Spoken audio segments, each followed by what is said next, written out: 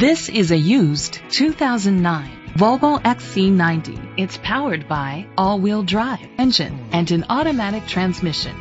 The features include a power sunroof, rear seat entertainment system, leather seats, heated seats, blind spot sensors, steering wheel controls, memory seats, alloy rims, auto dimming mirrors, dual temperature controls. Safety was made a priority with these features. Curtain head airbags, side airbags, independent suspension, brake assist, traction control, stability control, a passenger airbag, low tire pressure warning, anti-lock brakes. Rest easy knowing this vehicle comes with a Carfax Vehicle History Report from Carfax, the most trusted provider of vehicle history information.